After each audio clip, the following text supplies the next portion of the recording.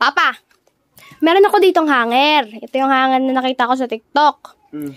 Yan yung hanger na hindi mabali kahit ano kahit anong gawin mo, hindi siya nababali. Pag yan nabali mo, ibig sabihin nun, malakas ka na. Yun daw. Sigurado ka. Oo nga. Ito, lambot-lambot ito eh. Yan nga yung sa TikTok. Bakit nagbibideo ka? Eh, para nga mapakita sa kanila kung gaano kakalakas. Sigurado kayo sa TikTok Oo ko ha. nga. Ito, ano.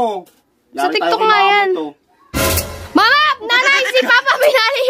Binali yung hanger. Wala! Ito talaga, Sanderia. Inuubos yung mga hanger eh.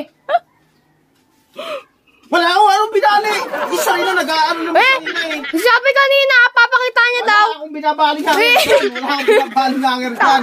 Sabi ni Papa. Ito na nga yung hanger eh. Eh, binali mo. Wala akong hanger dyan. binali mo. Walang hanger dyan.